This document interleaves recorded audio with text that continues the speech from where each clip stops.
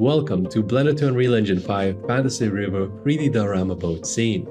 I'm Luke, and over the years I've honed my skills in creating stunning 3D environments using Blender and Unreal Engine. As part of 3D Tudor, we have developed a diverse range of 3D scenes and environment miniatures, including everything from Chinese floating islands to enchanting wizards workshops. This extensive experience has equipped me with wealth of knowledge and techniques that I'm eager to share with you in this course. My goal is to guide you through the essential steps and advanced techniques that will elevate your scene building skills to the next level.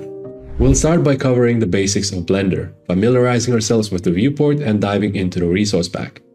This pack includes a variety of tools such as human reference, smart material shaders, geometry nodes for generating various assets, alpha textures for VFX, PBR material packs for Unreal Engine, and PureRef reference pack.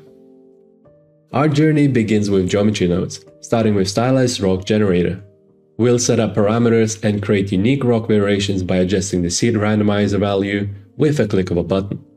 Next, we'll delve into terrain sculpting, learning how to use tools like clay strip and dynamic mesh to shape our base mesh adjusting it using the grab tool and add detail whilst removing any unnecessary vertices using bisect tool. Shader basics and UV mapping come next. To prepare a terrain mesh, we'll use vertex painting to add detail and break up surfaces of our seamless stylized textures. Following this, we'll create a bridge using geometry nodes where you'll learn about curve editing, parameter shaping, and how to add railings with the fence geometry node seamlessly integrating the bridge into our environment. We'll then construct a bay area with blank geometry nodes and repurpose assets for efficiency. Grass Meadow geometry node will help visualize our scene, and weight painting will aid in quick placement adjustments. Using the ivy geometry node generator, we'll draw organic ivy growth, then we'll create tree variations and add them onto our environment. Next, we'll create a stylized boat, adding detail with modeling techniques and UV unwrapping. We'll shape a lantern asset, use lattice modifier and hang it on the boat with chain geometry nodes. Reusing shader setups, we'll create an emission shader for our scene. For the stylized post, we'll use cobblestone generator geometry node, knife tool cutouts, and repurpose the boat lantern for a faster workflow.